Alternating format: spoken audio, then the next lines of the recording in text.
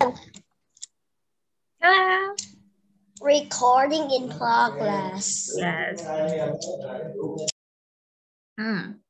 วันนี้นะคะเราจะเราพ้นเรื่อง grammar มาแล้วเนาะพ้นเรื่องอ่า present perfect tense มาแล้ว ใครยังมีคำถามบ้าง เดี๋ยวคุณครูเนี่ยจะมาสรุปทบทวนสิ่งต่างๆ ในบทที่หนึ่งให้อีกทีหนึ่งนะคะ วันนี้เราก็มาเรียนหัวข้อนี้กันก่อนค่ะ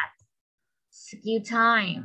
เวลาของการฝึกฝนทักษะของนักเรียนแล้วค่ะ นอกจากจะรู้ grammar หรือ tense ต่างๆ แล้วนะคะ นักเรียนก็ยังต้องฝึกฝนการใช้ทักษะในภาษาอังกฤษด้านอื่น ๆ ด้วยอย่างเช่น reading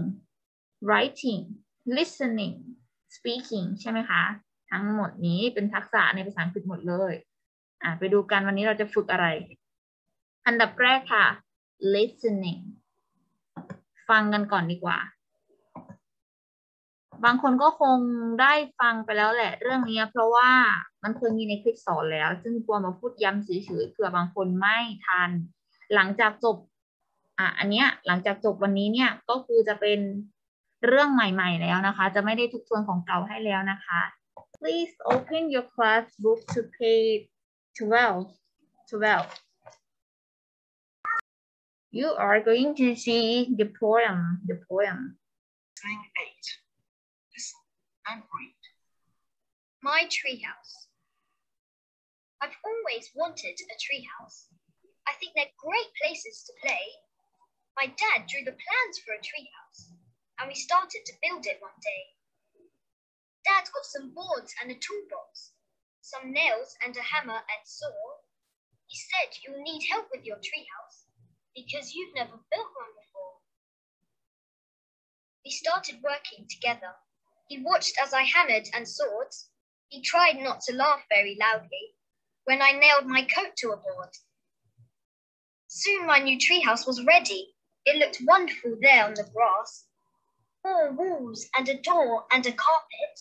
and two windows, both with real glass. The windows were two different sizes, and the door wasn't perfectly straight. The walls were a little bit crooked, but Dad thought my treehouse was great. Dad got some rope and a ladder. He pulled the house into the tree. My treehouse looks crazy and funny, but I think it is perfect for me. อะสิ่งที่นักเรียนฟังไปเมื่อกี้นะคะเขาเรียกว่า poem นี่ค่ะ poem มันคือ poem ค่ะคืออะไรแล้วกรอนหรือว่าบทกวีค่ะ มันดูไม่เหมือนภาษาไทยใช่ไหม กรอนบทกวีของเขาดูแตกต่างกับของเรานิดหน่อยใช่ไหมคะ ดูไม่ได้คล้องตรงเหมือนของภาษาไทยมากอ่าแต่เมื่อกี้ที่นักเรียนได้ฟังไปก็คือ poem นะคะ เป็นกรอนหรือว่าบทกวีของภาษาอังกฤษโดย pattern รูปแบบหรือว่าจังหวะของเขาเนี่ย อุ้ย sorry รูปแบบการเขียนแล้วก็จังหวะ จังหวะทำนองของเขาเนี่ยจะมีดังนี้เลย ถ้าใครสังเกตนะ ในตอนหนึ่งเนี่ยมันจะมีสี่บรรทัด เมื่อกี้เนี่ยตอนหนึ่งจะมีสี่บรรทัดนะคะ บรรทัดแรกจะจะต้องมีกี่พยางค์ one two three four five six seven ไม่ใช่ไม่ใช่คำนะ แต่คือพยางค์นะคะ บรรทัดแรกจะต้องประกอบไปด้วยเจ็ดพยางค์เหมือนคำหนึ่งคำอาจจะมีสองพยางค์ก็ได้ ในพยางค์เนี่ยจะต้องมีเสียงสระประกอบอยู่ด้วย อะบรรทัดที่สอง we had a lot of fun นับแล้วก็คือหกพยางค์เขากำหนดมาเลยค่ะ เซนเทนที่สองนะคะ ต้องมีหกพยางค์ด้วยกัน ต้องประกอบไปด้วยหกพยางค์ส่วนบรรทัดที่สามก็กลับมามีเจ็ดพยางค์เหมือนเดิมนักเรียนนับดู ถ้านับเป็นคำนะมันจะไม่ได้เจ็ดมันจะได้แค่หก one two three four five six มันจะได้แค่หกแต่สิ่งที่เขาให้นักเรียนนับคือ พยางค์อะลองนับ my brother brother นี่มีสองพยางค์ค่ะ brother สองพยางค์ girl some great plans รวมแล้วเป็นเจ็ดค่ะ เพราะว่าคำว่า brother เป็นสองพยางนะ ถึงแม้จะเป็นคำเดียวกัน อ่า นับพยางนะคะ เหมือนภาษาไทยเลยเคยแต่งกลอนภาษาไทยไหม the kite looked like the sun the kite looked like the sun รวมแล้วหกนะคะ รวมแล้วหกก็ตามนี้เลย look at the red words อะ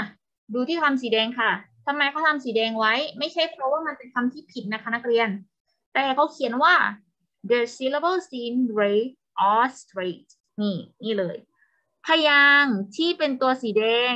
ต้อง stress เสียงค่ะ stress แปลว่าเน้นค่ะ stress แปลว่าเน้น แสดงว่าไอตัวสีแดงเนี่ย ต้องเน้นเสียงค่ะ we say the stress syllable more strongly than the other เราจะเน้นเสียงไอคำสีแดงๆเนี่ยมากกว่าคำอื่นๆทำให้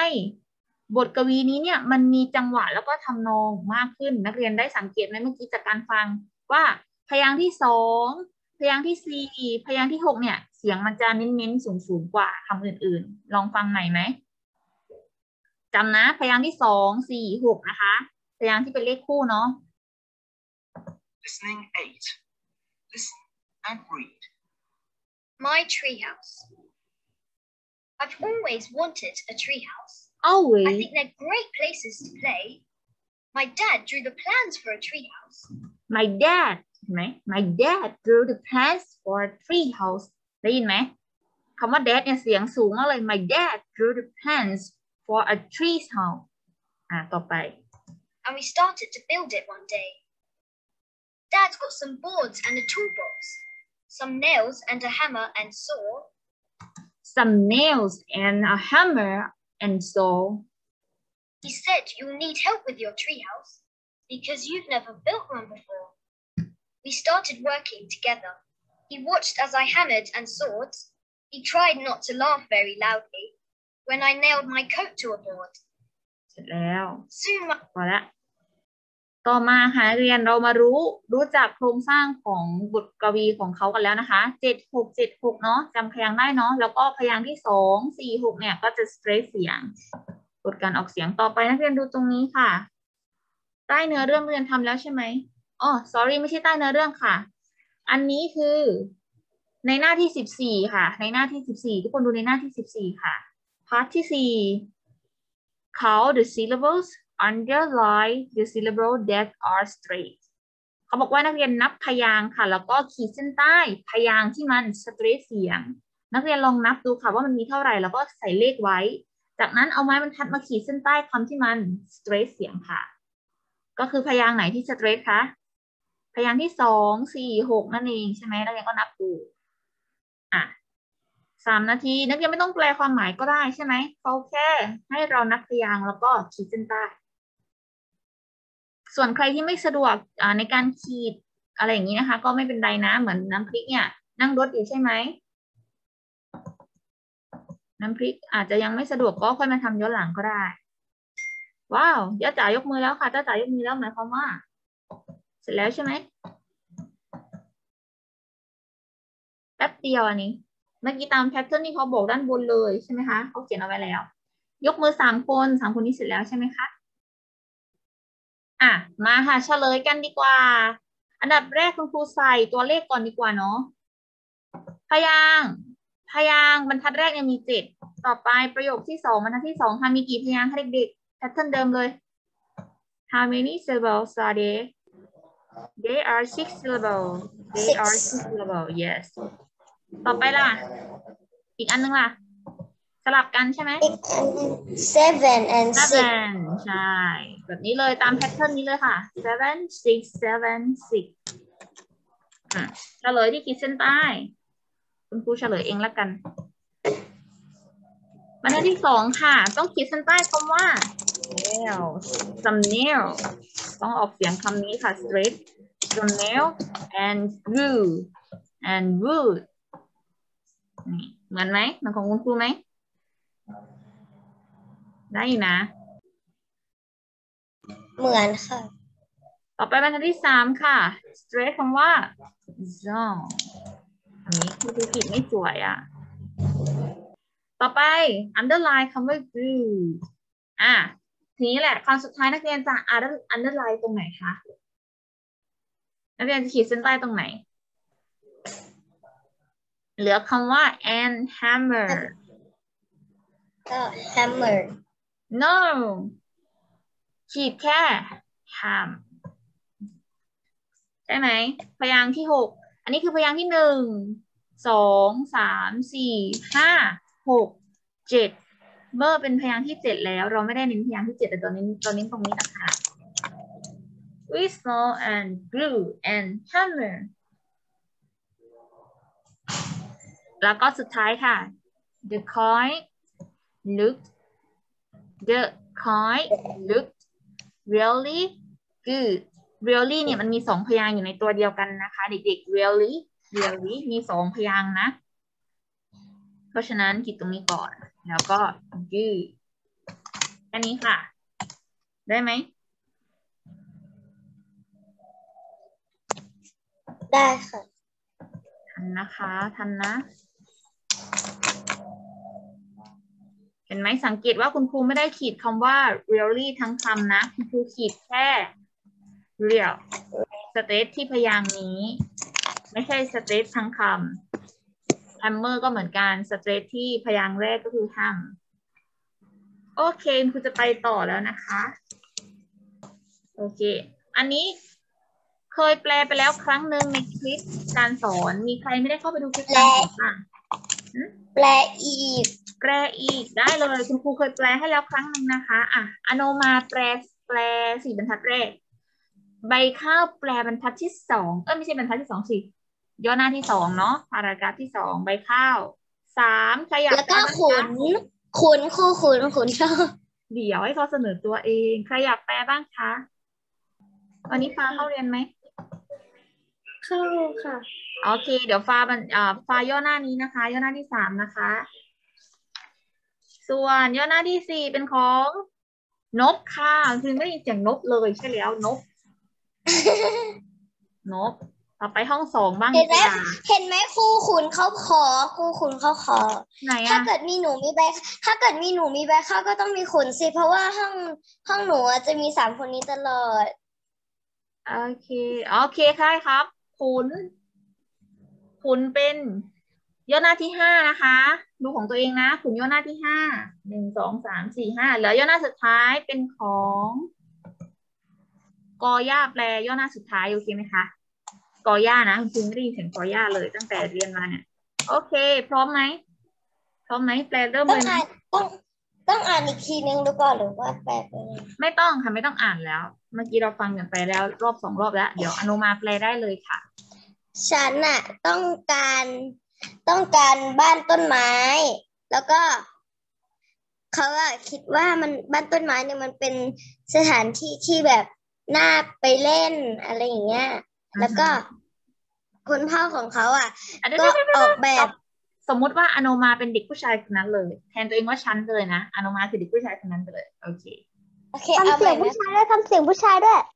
โอ้ยพอแล้วแหละ ได้แล้วไม่เป็นไรแปลบรรทัดที่สามต่อเลยค่ะเออแล้วพ่อของฉันน่ะ ก็ออกแบบบ้านต้นไม้อืมแล้วพวกเราเนี่ยก็เริ่มสร้าง เอ่อพวกพวกเราก็เริ่มสร้างวัน วันหนึ่งโอเค นักเรียนดูคำที่ขีดเส้นใต้นะคะ เพื่อนแปลให้แล้ว tree house ก็คือบ้านต้นไม้ค่ะ plan คืออะไรคะเมื่อกี้อโนมาบอก แผนเนาะการวางแผนออกแบบนี่ไง วางแผน มีคำไหนไม่รู้อีกบ้าง build สร้างต่อไปค่ะของใบข้าวค่ะอ่าพ่อมีกระดาน แล้วก็ แล้วเขาก็มีกล่องอุปกรณ์ ใช่ค่ะ เช่นซัมตะปู อืมตะปู ซัมตะปูซัมตะปูอ่าฟังตะเพื่ปูอนค้อน เลื่อยเก่งแล้มาวกเขาค่ะ ก็พูดว่า คุณคุณต้องช่วย คุณต้องช่วยฉันในการสร้างบ้าน เพราะว่าคุณยังไม่เคยสร้างอะไรเลย อืม อ่า คุณต้องได้รับการช่วยเหลือสำหรับการสร้างบ้านต้นไม้นะคะ เพราะว่าคุณยังไม่เคยสร้างอะไรเลย คุณพ่อพูดกับ เด็กคนนี้ค่ะ จริง ๆ จริง ๆ ใบข้าวต้องทำเสียงใหญ่ ๆ เป็นคุณพ่อด้วยนะ ต่อไปใครนะนกค่ะใบข้าวกับใบข้าวกับอนุมาปิดไมค์ค่ะ แล้วก็ฟังเพื่อนค่ะ นกอยู่ไหมคะ ครับ โอเค นกมาเลยครับ ไม่ได้ยินเสียงนกพูดเลยคิดถึงคิดถึงแล้ว we start working together โอเค He อะ was อ่านก่อน as I hammered and thought he tried not to laugh very loudly when I nailed my coat to the board to a board โอเค อะแปลเลยครับ แปลที่นกเห็นเลยว่าเขาแปลว่าอะไรบ้าง เขาทำงานด้วยกันร่วมกันใช่เขาค่ะร่วมทำงานด้วยกัน เขาผู้ชายคนนั้นอะ ดูผมอ่านักเรียนสมมุติตัวเองเป็นเด็กคนนี้นะนักเรียนจะได้ไม่งงประธานนะคะ I นี่ก็คือแทนตัวเด็กคนนี้ เด็กคนนี้เป็นคนพูดเนาะส่วน he เนี่ยหมายถึงพ่ออะโอเคพ่อเขาดูผม อืม ผมที่ทำไม ผมที่ทำอะไรเนี่ย hammer สามารถทำหน้าที่เป็นคำกริยาก็ได้นะเด็กๆ hammer ทำหน้าที่เป็นคำกริยา ก็จะแปลว่าตอบก็ได้ เนี่ย ซอเติม ed เข้าไปก็แปลว่าเลื่อยก็ได้ค่ะ ออกแล้วก็ ดูเขาเหนื่อย แต่อ๋อแต่เขาแต่พยายามที่จะไม่ไม่อะหัไรวเราะใช่ดังเลยค่ะอืมเมื่อ เมื่อฉัน ผมตอบ ตอกตะปู อ่า ตอกตะปู ตอกเสื้อโค้ทของฉันลงไปบนอะไร บนบอร์ดบนไม้ ใช่ ตรงนี้นะคะ try try ที่แปลว่าลองหรือว่าพยายาม เขาเนี่ยพยายามจะไม่หัวเราะ เขาพยายามไม่หัวเราะเสียงดัง หัวเราะเบาๆ ตอนที่ฉันเนี่ย ตอกเสื้อโค้ทเสื้อคลุมของฉันลงไปบนไม้นี่ค่ะ ตามภาพเห็นไหมพ่อก็คือนั่งหัวเราะเบาๆ ต่อไปใครตอบขุนใช่ไหมคะ ฮัลโหลคุณบอก คุณบอกว่าไม่บักค่ะ อ๋อค่ะ เปิดได้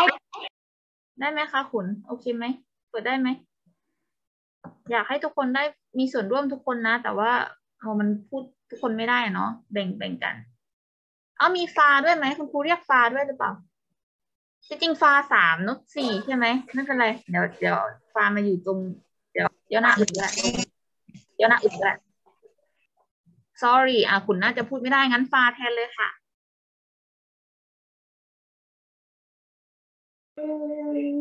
บ้านบ้านต้นไม้ใหม่ ก็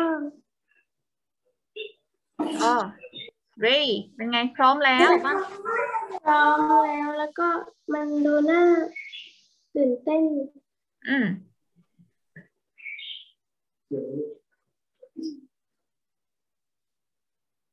มัน โรงเรียนออนไลน์พอดีตรงไหนคะตรงไหน ไม่ต้องแปลทุกคำก็ได้อะผนังสีผนัง มันอยู่บนอะอยู่บนพื้นหญ้ามันอยู่บนพื้นหญ้าก็มีผนังสีผนังแล้วก็ประตูหนึ่งประตู อืมแล้วก็คาเพตแปลว่าอะไรคาเพตพรมก็ได้ใช่ไหมคะ พรมอะและ หน้าต่างสองบาน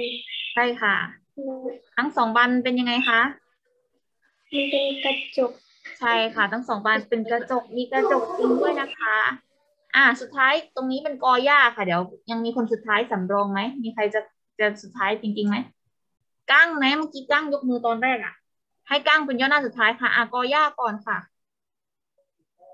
ค่ะ ค่ะ หน้าต่าง หน้าต่างมันไซส์มันต่างกัน อืมใช่ไซส์มันต่างกัน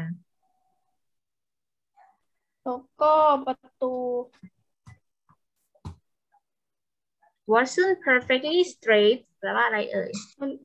มันแข็งแข็งแรงใช่ไม่ใช่ strong นะอะไร straight ในที่นี้แปลว่าตรงนะคะ เด็กๆคำที่ขีดเส้นใต้คือ ตรง มันไม่ได้ right มันไม่ได้เป็นยังไง ไม่ได้ตรงเอมาอกมันไม่ได้ตรงสมบูรณ์แบบหรอกมันไม่ได้ตรงมาก อะแล้วไงต่อ แล้วก็ผนังมันเล็กข้างหลังด้วยนี่ใจความสำคัญอยู่ตรงนี้ค่ะเด็ก crooked crooked แปลว่าเบี้ยวค่ะแปลว่าโค้งงอหรือว่าบิดเบี้ยว ผนังมันเป็นยังไง เบี้ยว ล้วมันเบี้ยวเล็กน้อยค่ะ a little bit crooked ก็คือเบี้ยวเล็กน้อย แล้วก็สุดท้ายก็ยาก แต่พ่อของฉัน แต่พ่อของฉัน คิดว่าเป็นยังไง คิดว่ามันมันดีมันเยี่ยม ใช่ ก็คิดว่าดีแล้วค่ะ โอเค ถึงแม้จะเบี้ยว สุดท้ายจริง ๆ ค่ะ เป็นให้ก้างเลย อะก้างค่ะ คนอื่น ทำหน้าสิบสาม part ที่หนึ่งก่อนก็ได้นะคะ ระหว่างนี้ ระหว่างฟังเพื่อนไปด้วย แล้วก็เลือกคำศัพท์ไปเติมในหน้าสิบสาม part หนึ่งไปก่อนเลย อะจ้างมาค่ะ ก็เอาเชือกแล้วก็บันไดมา อืมเขาดึงบ้านต้นไม้ขึ้นไปอยู่บนต้นไม้ อืมบ้านบ้านต้นไม้มันมันดู crazy and funny มันดูเป็นยังไงคะแปลก อ๋อดูแปลกแปลกเนาะแล้วก็ แต่ฉันคิดว่าไงใช่ฉันคิดว่ามันมันดีมากสำหรับฉัน ใช่ มัน perfect ใช่ไหม is perfect for me ถึงแม้ว่ามันจะเบี้ยวๆนะคะ แต่ว่าคิดว่า perfect แล้ว ด้านล่าง ด้านล่างเนื้อเรื่องของนักเรียนจะมี มีแบบนี้แบบฝึกหัดอยู่ใช่ไหมหกข้อคุณครูเคยเฉลยไปแล้วค่ะ ในตอนคลิปออนไลน์ ใครยังไม่ได้ไปทำบ้างสารภาพมา มีไหม มีคนยังไม่ทำไหม ไหนใครทำเสร็จแล้วกดหัวใจค่ะ ใครยังไม่ทำกดหน้าร้องไห้ อ่า ปิงปิงทำแล้วเก่งมากค่ะ อืม อันนี้คุณครูเคยเฉลยไปแล้วนะ ใครยังไม่ทำก็วงกลมเอาไว้ซะด้วยนะคะ เมื่อกี้เราแปลเนื้อเรื่องกันแล้ว เพราะฉะนั้นคุณครูจะข้ามตรงนี้ค่ะ คุณครูจะไม่แปลให้แล้ว นักเรียนเอาไปทำเป็นการบ้านเลย ถ้าใครยังไม่ได้ทำพาร์ทสามนะคะอ่าเดี๋ยวเราไปดูในหน้าที่สิบสามกันค่ะนักเรียนหน้าที่สิบสามนะคะ หน้าที่สิบสามเป็นแบบฝึกหัดที่ต้องเอาคำศัพท์มาใส่ค่ะ ตรงนี้คำศัพท์นักเรียนเอามาจากไหนคะ find the words in the poem to match the pictures เขาบอกว่านักเรียนหาคำศัพท์ในบทกวีในกลอนนั้นให้เจอค่ะ หาให้เจอแล้วก็ จับคู่กับรูปภาพให้ถูกต้องคำที่เขาให้เรียนหาก็คือคำที่ขีดเส้นใต้นั่นเองค่ะ มีดังนี้ค่ะ คุณครูสรุปมาให้แล้วคำมีคำไหนบ้าง plan จริงๆต้องเป็นตัว p เล็กนะคะ plans was to buff laugh straight crooked ladder อ่า ทั้งหมดแปดคำค่ะเรียนแปดแปดคำ แต่ว่าเขาเขาใช้ไปแล้วหนึ่งคำเนาะเหลือเหลือแค่เจ็ดค่ะ one two three four five six seven นักเรียนเอาเจ็ดคำนี้มาจับคู่กับคำให้ถูกต้องค่ะ ให้เวลาสามนาทีค่ะ อ่า งั้นตามลำดับที่ยกมือเลยค่ะ จ้าจ๋าเฉลยข้อสองค่ะ ปิงปิงข้อสามน้ำขิงข้อสี่ ค่อ่านคำศัพท์ให้เพื่อนฟังก็ได้นะคะ ว่าข้อที่สองคำว่าอะไร เดี๋ยวคุณครูจะเขียนเอาไว้ให้หน้าจอเองว่าคำไหนข้อไหน ข้อห้าข้อห้าบอสค่ะ ข้อหกเป็นพัทริน เอ้ยชื่ออะไรแล้วนะคะเด็กใหม่ พัทริน ข้อที่เจ็ดคุณครูจะเปลี่ยนคนบ้างเนาะเจ็ดเป็นมิ้นค่ะแปดสุรเกียรติ ตั้งชื่อเต็มยศนะคะโอเคตามนี้นะคะ อ่ามาเลยค่ะ ข้อที่สองค่ะ ข้อแรกเป็นภาพบ้านต้นไม้ค่ะ ก็เลยจะพูดว่า tree house บ้านต้นไม้นั่นเองต่อไปค่ะ ข้อที่สองของจ้าจ๋าค่ะอ๋อคุณครูลืมไปคุณล็อกไมอยู่ sorry เพราะว่าเดี๋ยวกันบางคนเปิดไมค์โดยไม่ได้รับอนุญาตอะจ้าจ๋าค่ะ เปิดไมค์เองได้แล้วค่ะจ้าจ๋า แล้วดื้อคำว่าอะไรลูก อ๋อดื้อเมื่อกี้คุณครูอ่านอ่านให้ฟังแล้วใช่ไหมคำศัพท์คุณครูอ่านให้ฟังแล้วนะ คนคนนี้เขาทำอะไรคะจ้าจ๋าพูดครับเขาไม่ได้พูดนะเอ่อร้านเอออ่า ใช่ค่ะ laugh ก็คือหัวเราะนั่นเองค่ะหัวเราะค่ะ ดังนั้นคำไหนคือคำว่าหัวเราะคะ คำนี้ค่ะ laugh นักเรียนเอาคำนี้มาเขียนได้เลยนะคะ ใช่ไหมถูกไหมของครูไหมคะจ้าจ๋า laugh หัวเราะ ต่อไปปิงปิงค่ะ straight ค่ะ straight คำนี้ค่ะ straight แปลว่าอะไรคะปิงปิงอ่าตรงค่ะ ตรงค่ะ จากภาพนี้ผนังมันตรงกันทุกด้านเลยค่ะ ก็เลย straight ต่อไปเลยค่ะ ข้อสี่น้ำขิง board board board ใช่หรือเปล่าดูอีกทีนึง crocker crocker crooked แปลว่าก็เบี้ยวเดี๋ยวนะ ไม่ใช่เบี้ยวเบี้ยวอันนั้นเบี้ยว อันนี้คืออะไรเอ่ยอืมมันเป็นกระดาษแล้วก็มีการร่างแผนแบบไว้ค่ะ นั่นน่าจะเป็นคำว่าอะไรน้ำขิง plans plan ใช่แล้วค่ะคำนี้เนาะนี่แสดงว่าสลับกับอันนี้แน่เลยอ่า สมมุติว่าคุณครูเขียนสวย ต่อไปค่ะ ข้อห้าของบอสค่ะ boards boards จริงๆมีอันเดียวนะเด็กๆ เด็ก ๆ ไม่ต้องใส่ s ก็ได้นะคะ อะเนี่ย นักเรียนไม่ต้องใส่ s ก็ได้ เพราะว่าบอร์ดก็มีอันเดียว โอเค ต่อไปข้อที่หกค่ะ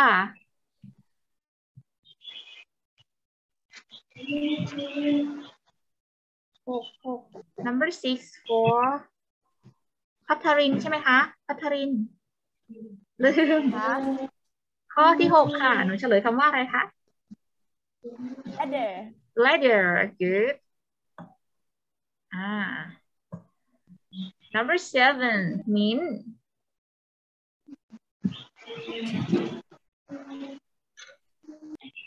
เดี๋ยวตอบแล้วหนูตอบว่า ไม่ได้ยิน can you say the other thing crooked โอเค crooked แปลว่าเบี้ยวนะคะ อ่า แล้วสุดท้ายค่ะ the last one for สุรเกียรติ